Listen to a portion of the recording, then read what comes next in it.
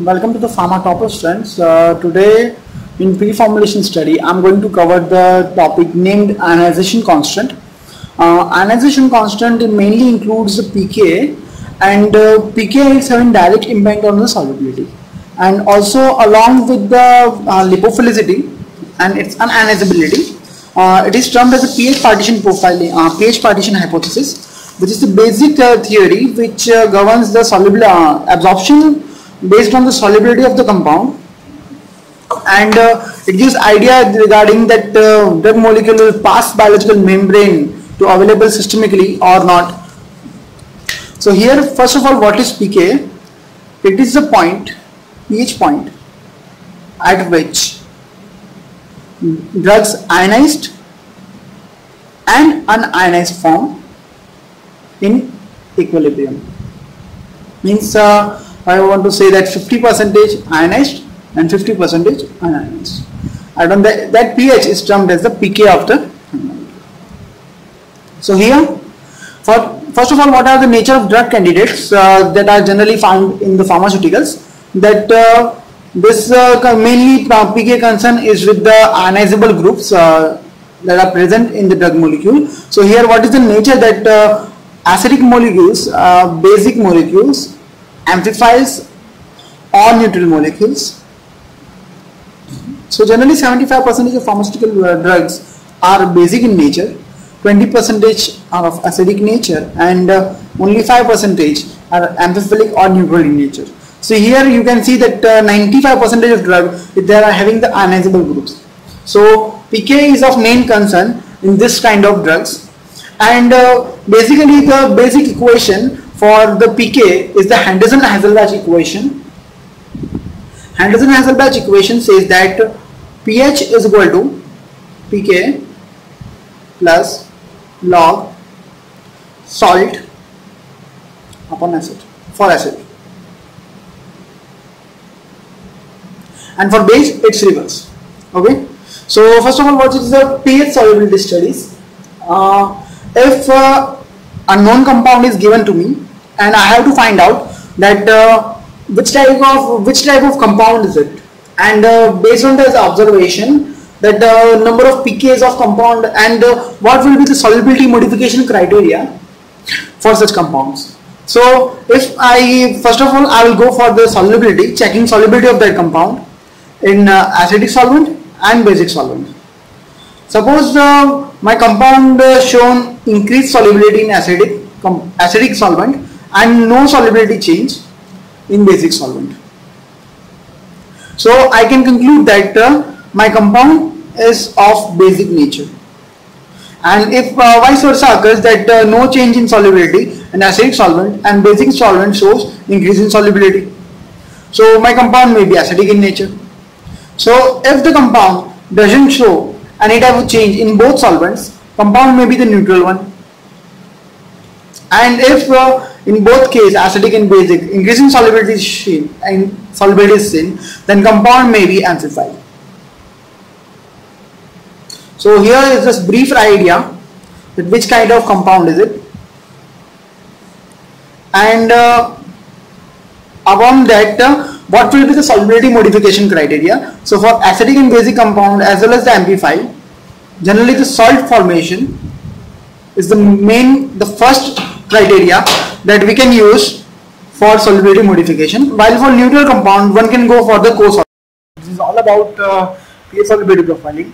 Next will be the pH pK and more precisely pH pK and the solubility or ionization.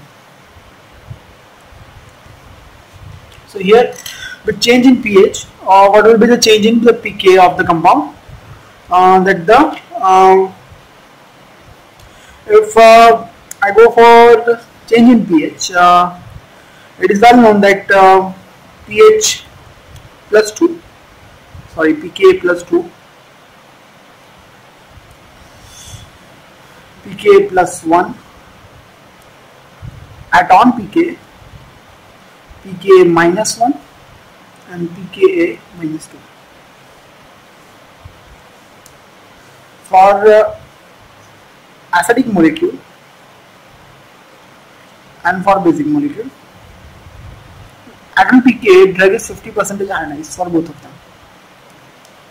So percentage ionization at on pK will be the 50 percentage for acidic as well as basic drug.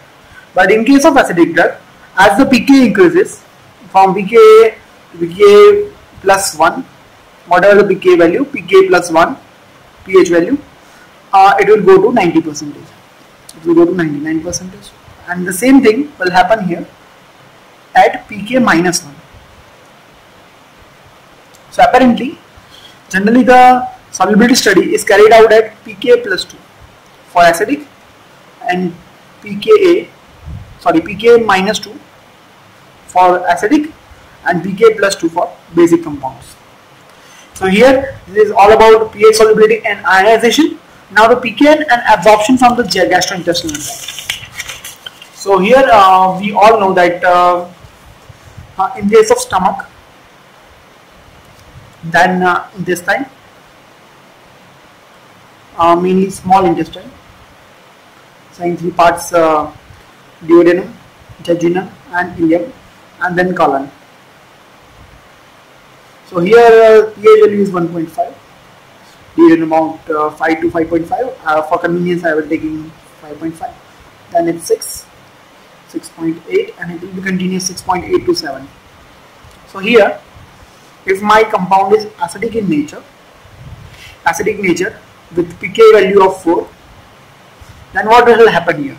At on pK value of 4 as I told you pK minus 1 pK minus 2 pK minus 3 for acidic compounds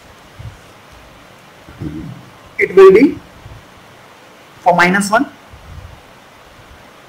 it will be only around uh, 10 percent ionized here 1 percentage ionized and here 0.1 percent ionized. And for basic compounds it will be 90 percentage 99 percentage and 99.9 percentage ionized so here the at pH 4 sorry pK 4 if compound is on pK 4 it will show ionization 50 percentage. But for sake of convenience I am converting these values 2.0 6.0 6.0 and 7 and 7.0 okay? So here it will be the calculation will be easy. So is the pk value is 4 so in case of stomach pk minus 2 it will be 1 percentage ionized. And uh, from stomach to going to duodenum it will be then 6.0 means uh, 4 plus 2 it will be the 99 percentage ionized. Here also 99 percent. And here it will be around in between 99 to 99.9 percentage ionized. So for I can say that for acidic drugs the absorption you all know that absorption only take place of unionized one.